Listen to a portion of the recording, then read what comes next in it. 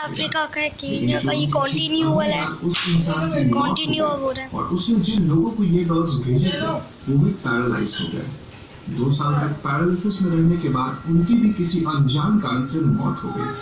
तब से ये डॉल्स वॉरेंस के म्यूज़ियम में पड़ी है। और ऐसा माना जाता है कि इनके संपर्क में आने मात्र से एक इंसान की ज़िंदगी में बहुत सारी दिक्कतें शुरू हो सकती है।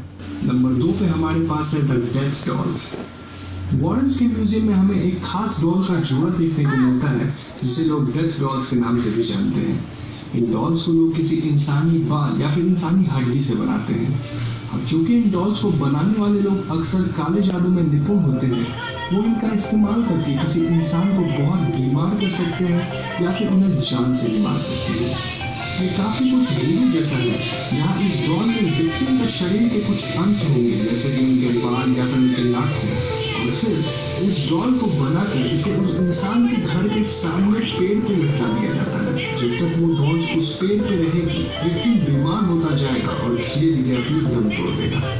वॉरेंस के म्यूज़ियम में स्थित ये दो डॉल्स भी डेथ डॉल्स का जोड़ा है, जिससे लोगों की जान ली जाती थी। और इस डॉल को इतना शक्तिक माना जाता है कि इसको छूने मात्र से लोग बीमार पड़ जाते हैं। और फाइनली नंबर वन पे हमारे पास एक बार फिर से एनाबेल डॉल दोस्तों मैं आपको बता दूँ कि हमने अपने चैनल पे द एनाबेल डॉल की स्टोरी एक डेडिकेटेड वीडियो में विस्तार से बना रखी है। आप इसके बारे में doll जानना असली में चाहते ऐसी हैं तो ऊपर दिख रहा है आई बटन पर क्लिक करके उस वीडियो को पूरा देखिए। तो दोस्तों आज की वीडियो में बस इतना ही। Okay bye